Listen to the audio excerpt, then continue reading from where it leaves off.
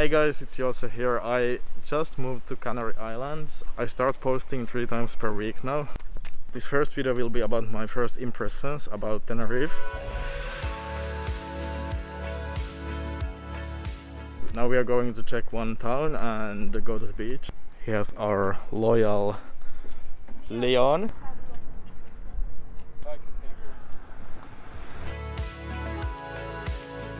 So we moved to south side of the Tenerife island because we had some problems with the Airbnb in the, in the north side.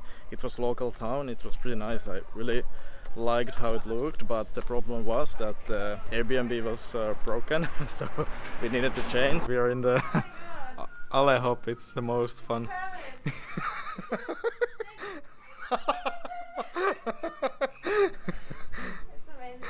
It's the most fun store ever. Enjoy. Thank Thank, you. you. Okay, guys. Finally we are at the beach. it's so nice honestly. Coming from Finland. Hi guys, we're at the beach. I'm just, it's my vlog now. We're lost. no, we're actually trying to find a beach around this area. That's the way. and I don't think, I don't think we're going to be successful at all. Like, I'm sorry. Seems like we found the beach. guys, we found the beach. Oh my god, finally, look at where we are.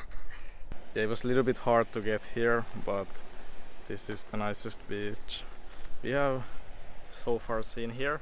I just took a swim, it's so nice. It's like uh, cold water, but not too cold, and a little bit waves and blue water. Point of this video was to give my first impressions about Canary Islands. And I guess like what happened here is pretty much the first impressions. I kind of visioned in my head that there's no one here. I thought the whole Canary Islands were like empty because because of the illness. I thought like yeah, there's not gonna be anybody because it's middle of nowhere. There's like 50 people here. That's not the problem, but like 30 of those 50 people they're not wearing any clothes or swimwear, so it's a little bit uh, uncomfortable. We are not used to used to having this. Feels like some beaches are closed, but then some beaches are super full, so it's kind of like weird combination of places being closed and at the same time places being full but the beach is really nice don't get me wrong i'm just going to ask catalina what what what's her impression of tenerife you can't stand that like that.